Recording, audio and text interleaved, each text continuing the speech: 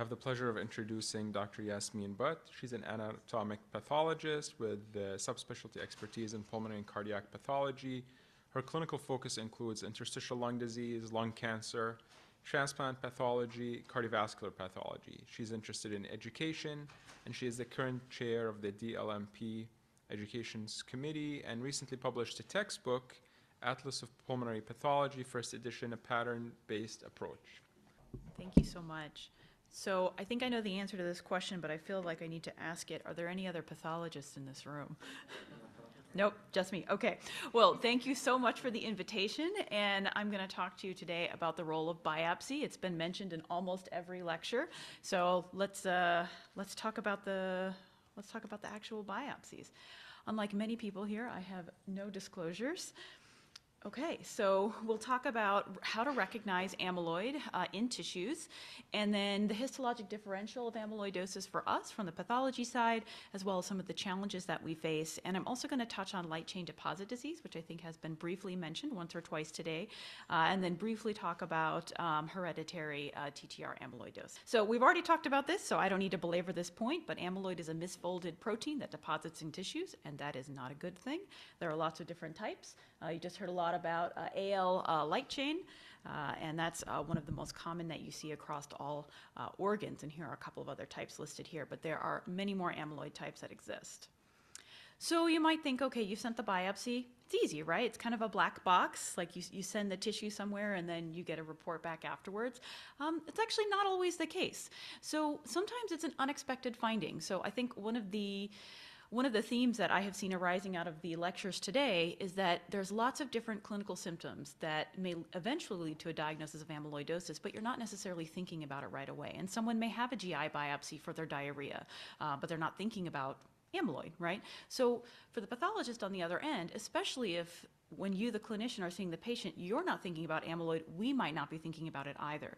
And sometimes on the actual tissue, the finding of amyloid can be extremely focal and can just blend into the background, especially if you're thinking about something from another side. I'll use GI biopsy again as an example. Uh, you're thinking, oh, this patient has diarrhea, I'm worried about inflammatory bowel disease, I'm looking for architectural distortion. You might miss the little slips of amyloid that are in the submucosa. So amyloid can be seen, of course, in any organ or any tissue, uh, so it can be unexpected. Um, and there are mimics. There are things that look like amyloid. Uh, one of those is light chain deposit disease, which I'll talk at the end. And there are other things too that look like amyloid that actually aren't.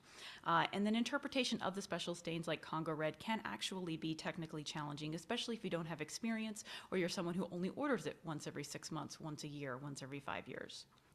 All right, so that initial tissue diagnosis, there are a couple of stains that I wanted to mention. So the first, of course, is Congo red. So when we have something that's Congo red, we want to see congophilia, okay? So we want to see uh, this kind of pinkish red color, all right? In this particular case, this is a myocardium wrapped around the myocytes. And then when we put it under cross-polarized light, we want to see apple green birefringence, okay? So here's a nice example of that. You can see that nice apple green birefringence. This is actually quite beautiful under the microscope. It's extremely challenging to take photos of, so they always look really, really dark and not very pretty, uh, but it's actually very nice under the microscope. Uh, another stain I wanted to talk about was sulfated Alcian blue.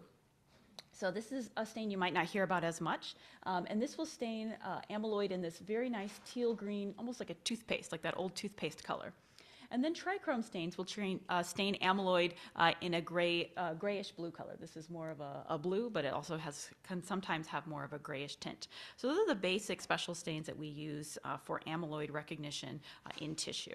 So let's talk about the heart. So cardiac involvement, of course, as many people have said uh, today, is very important for the prognosis of how these patients perform. Uh, many different types can be in the heart. Uh, AL and ATTR, of course, uh, amongst the most common. So let's look at an example. So here's a, uh, an endomyocardial biopsy, and actually, can I, does this come off? Nope, it doesn't. Okay. Um, so this is an endomyocardial biopsy. All right, so, whoops, go back. So this would be the endomyocardium, all right? So if this was still in the patient, this is where the blood would be in the, in the chamber. And then underneath here are all the myocytes. So I've given you an inset here on the right, a little bit higher power, sorry, laser in your eye. Um, and these are what myocytes should look like, okay? You shouldn't have really anything in between them.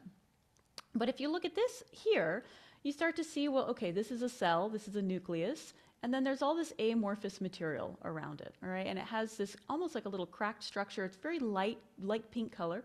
Uh, this is one of our standard stains, is a hematoxylin and eosin. Everything that comes through surgical pathology is put with this stain. Uh, and you, you start to see that, okay, well, I wonder why this patient, I don't wonder why this patient might be having uh, trouble uh, and cardiac symptoms because instead of a solid sheet of myocytes, we're seeing all this material replacing uh, those myocytes.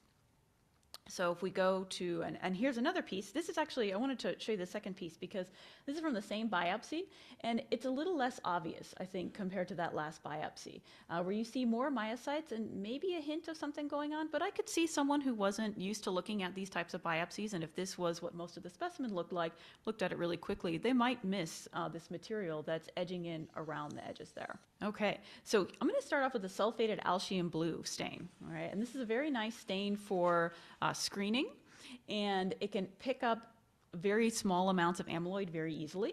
So again, so our myocytes are, are this orange color here, and then you're seeing the sulfated alcian blue is all of this green, just almost completely overtaking this piece of tissue.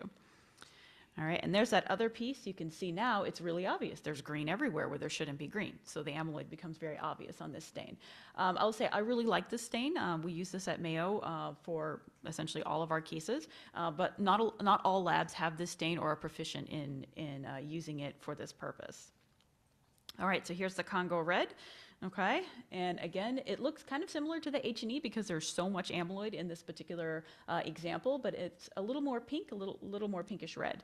So let's polarize that tissue there, and then now we can see all of our, all of our uh, green there, that kind of characteristic apple green birefringence.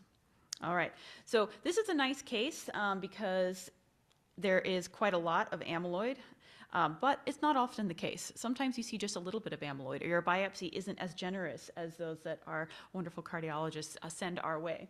Uh, and so you may have trouble seeing the little bits. And one thing I also wanted to point out here is you see the apple green birefringence. And even in this case, where there's a ton of amyloid, not every piece of amyloid is actually staining. And so that's something that I think people miss sometimes. It's not every single bit. It's it's it's a polarization. It's a physical polarization of how the light is refracting through that amyloid. So you don't always see the green absolutely everywhere. Uh, and when you have small specimens, this can be incredibly challenging.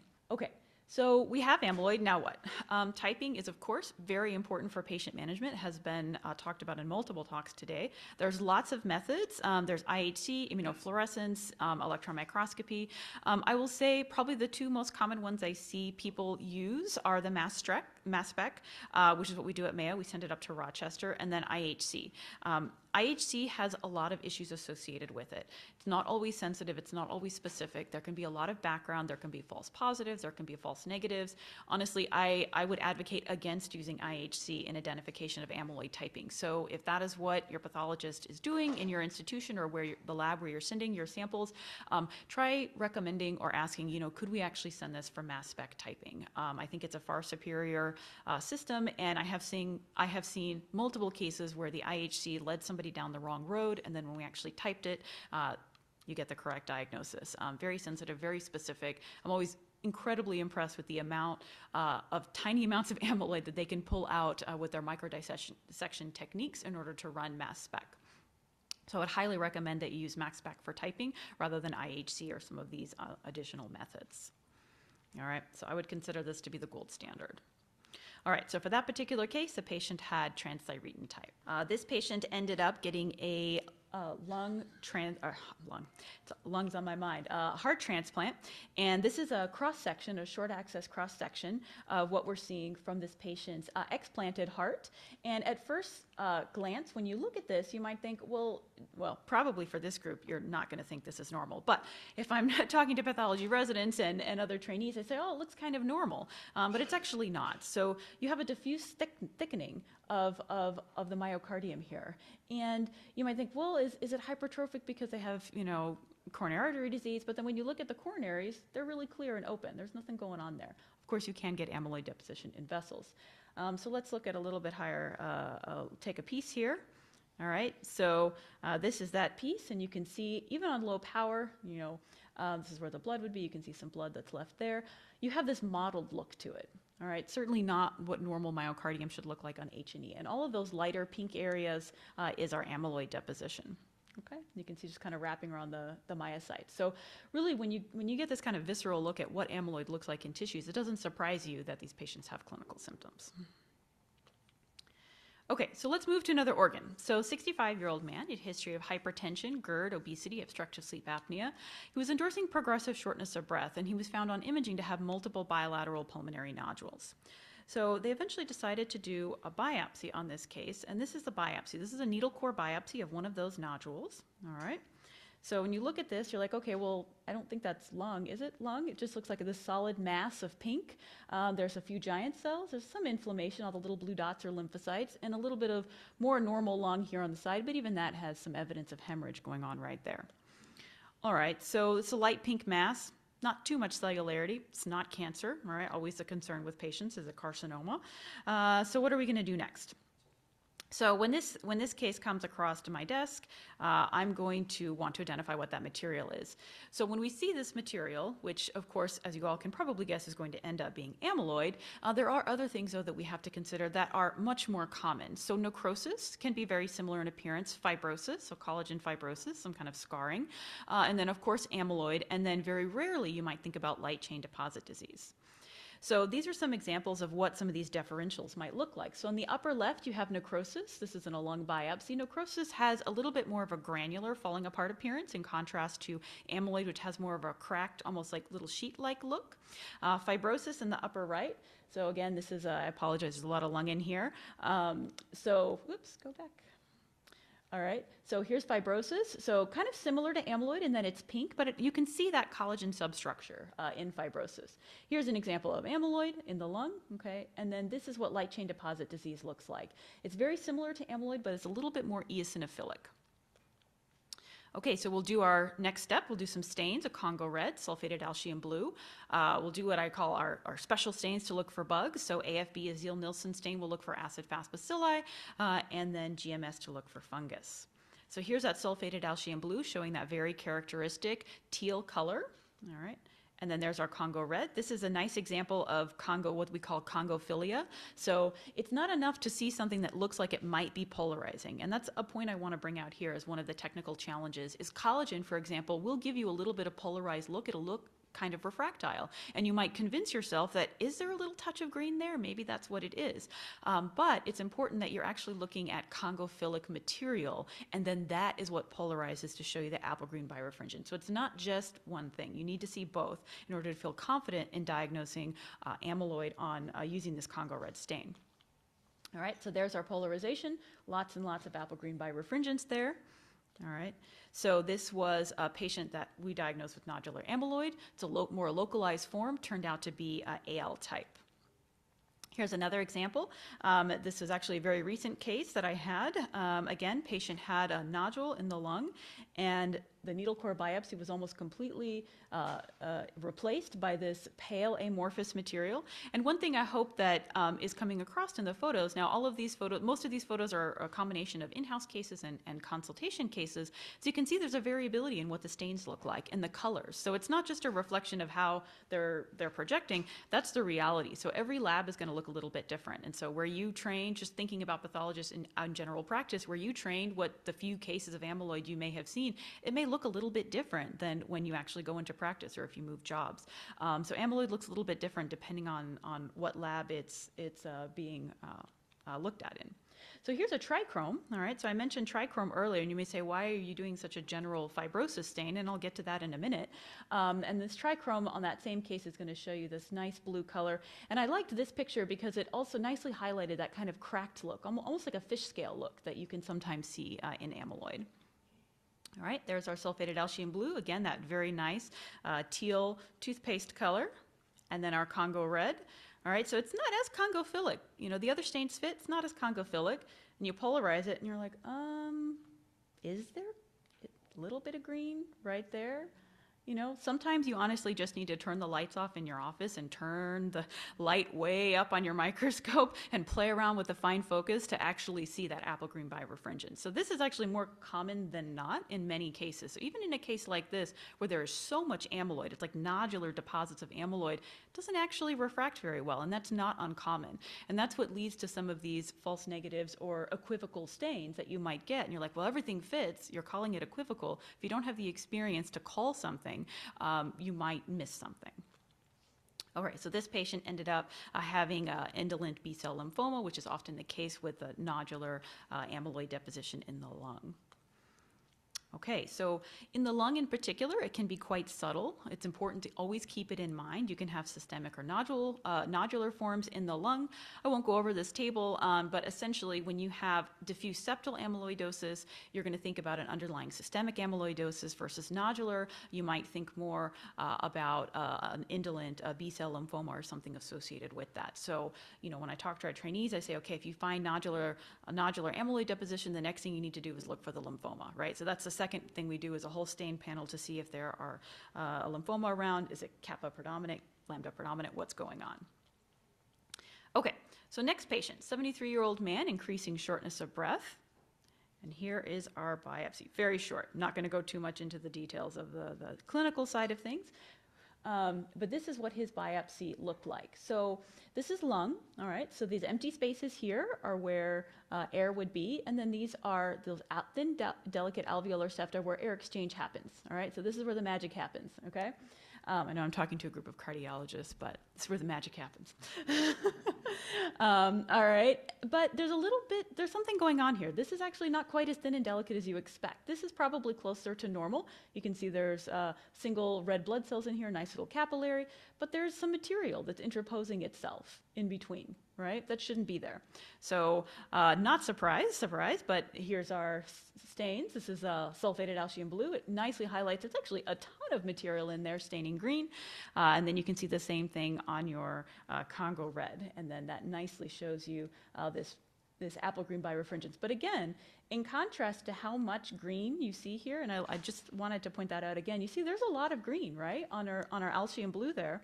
But then when you look at the amount of actual uh, apple green birefringence, just a little bit right there, maybe a little there, maybe a little there. So it can be challenging sometimes to, to make these, these diagnoses. Um, so this patient actually did also have a history of ATTR type cardiac amyloidosis that was previously diagnosed, and now it was in his lungs.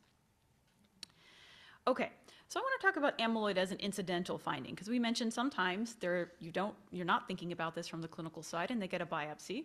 Um, so this is a patient who was coming in for a mitral valve repair. It's some myxomatous mitral valve disease. We got his I got it his appendage and his mitral valve. All right. So here's his left atrial appendage. At first glance, doesn't look too too crazy. You know, you al- we always look to see if there's any fibrosis, any you know uh, hypertrophy of the myocytes, anything along those lines. Let's look a little closer. All right. So again, a little bit of vacuolization, and you know, I wondered, you know, is there something in there? It looks a little bit off, and so decided to do uh, a Congo red on this particular one. And sure enough, um, there's these very wispy, wispy congophilic material in between. Okay, and then if you polarize it, this one actually was a beautiful polarization where we had ton of of uh, apple green birefringence there. I was like, okay. Then I looked at the valve, and I was like, okay, here's the valve. All right, um, all this deep purple stuff is calcification. There's some fibrosis here. Um, there were some myxomatous changes in some of the other pieces, but I was like, you know, looking at some of the material, it just, I, I just, I worried about this case. And so I threw a Congo red on this one as well. Um, let's look at this spot here. So this is the Congo red, and it's a little hard to tell uh, with the all the calcification going on, but there actually is some congophilia right here, right here, right here. And then when you look at the polarization, sure enough, apple green birefringence right there. So I sent for typing on this particular case uh, for actually both, and the left atrial appendage came back as uh, atrial natriuretic factor, or ANF type amyloid, and then the mitral valve came back as an intermittent type of amyloidosis. Um, so you know it's probably out of the scope to talk too much about um, a, uh, ANF type amyloid, but certainly can have some uh, clinical implications and is important to know, but it's a different type of amyloid that was in that mitral valve. And likely, uh, what was in the mitral valve uh, was probably just associated with a localized degenerative process. But we do see this type of amyloid. Dr. Rosenthal can attest. I send her, end up sending patients her way by finding all this degenerative amyloid. Um, so it's, it's kind of interesting you can see that. But this highlights how you can have different types of amyloid in the same patient depending on where you take the tissue in. So for this particular patient, it may or may not have had significant imp- impact, but in other patients, for example, uh, where you're worried about like an ATTR type and maybe you find something that's degenerative, um, looking at the actual organ that's impacted can be really important. So actually getting that cardiac biopsy. So you can have multiple types of amyloid. All right, so let's take a bit of a different path here. So let's look at a lung nodule in a 78 year old man. Okay, so here's his nodule, high power. So very pink, kind of amorphous material. There's a couple of uh, giant cells here and here. Okay, and you're like, okay, this looks kind of like amyloid. Um, this was one of my consult cases actually. And so the outside pathologist said, okay, it looks kind of like amyloid. Uh, I'm going to do a Congo red. So they did a Congo red, eh, maybe Congophilic, but nothing polarized. Nothing there, okay? So they were like, the Congo red is negative. I don't know what this material is. And so they sent it out, which is totally reasonable. So what do we do next? So this is where those other stains actually come in very helpful. So when I get cases like this, I will add a sulfated Alcian blue and a trichrome. And so this is what the sulfated Alcian blue look like. Now, this is not that pretty toothpaste green, right? So this is the, this kind of like a salmon pinkish color, very different than what we saw in amyloid. And then here's a trichrome. We're not seeing bluish gray, we're seeing this bright fire engine red color. All right, so what does this tell us? So this tells us that the patient has light chain deposition disease. So this is not amyloid, it's not amyloidogenic, it's a monoclonal um, Ig deposition disease. You can rarely see it in the lung and heart, but it certainly has been reported. Renal involvement tends to be more common. Uh, the nodular form is associated with Sjogren's, low-grade lymphoma, plasma cell neoplasms. So light chain deposition disease, I feel like, is often missed. At least once every couple of months, we get a case that comes through consult where they're like, I don't, we don't know what this is. We're, we're just lost because the Congo red is negative. And it's one of the reasons why I really like seeing some of these additional special stains. Um, I think I have a chart here. Yes. So this is amyloid versus light chain and what the very, very simple sulfated Alcian blue trichrome. Um, the sulfated Alcian blue, not all labs have this stain available for use, uh, but every pathology lab is going to have trichrome. This is just a stain for fibrosis. It's used in a multitude of different scenarios. So everyone's going to have a trichrome. So if you have a Congo red and a trichrome, you can pretty reliably say if something is going to be uh, light chain deposition disease or not. So the trichrome will give you that very distinctive crimson red in light chain in contrast to a blue-gray color that you see in amyloid. And if you do have the sulfated Alcian blue, you get a salmon pink in light chain versus that bright teal. So very different colors. There's no chance of sort of mis- misdiagnosing them because they look very, very different. Um, and then, of course, Congo red and light chain could be focally positive or kind of weak looking, or it could just be completely negative. Uh, as a side, you can have amyloid and light chain deposition disease uh, in the same biopsy and in the same patient. That does happen, and you get a very nice mix of the two colors. Um, if you were to do electron microscopy, not as many people do EM anymore for this, um, but you would see a difference in, in EM. You get the 9 to 10 nanometers randomly oriented fibrils for amyloid, of course, and then light chain looks more of like this kind of dense dense uh, powdery uh, deposits. Okay, so I did want to talk briefly about hereditary amyloid transthyretin polyneuropathy, since I know that this was a, a topic that was being uh, pushed a bit here. I feel like it has been talked about in, in better detail than what I have on here. Certainly a progressive disease, very debilitating. Early diagnosis is key. Uh, what I will mention from the pathology uh, portion is that biopsy is obviously very important in identifying these patients, but the biopsy is not always of the nerve right? Um, and even if the patient does have a nerve biopsy that's negative, there may still be amyloid there. And so there's a lot of value in considering um, other biopsy sites, particularly if they do have systemic amyloidosis that's being deposited in other organs that may be affected and might be easier to get a biopsy from.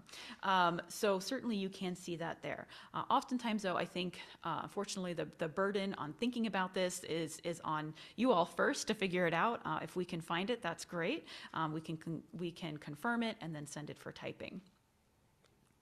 All right, so again, same thing. Um, this, this, this was actually, this paper was talking about ATTR amyloidosis as hereditary, but I thought in their table, they nicely summarized essentially everything that I wanted to talk about with the issues associated with biopsy is that you can have false negatives um, you, depending on sampling, right? So amyloid is not everywhere. So even in that picture of the explanted heart that I showed you, not every piece of the heart was involved by amyloid, even though it was quite a severe case. In fact, I took a little piece of normal appearing myocytes from that picture to use as my normal myocytes for the picture uh, from the biopsy uh, from that patient. So sampling is everything, right? So if we're only getting one tiny piece, you may have missed the amyloid.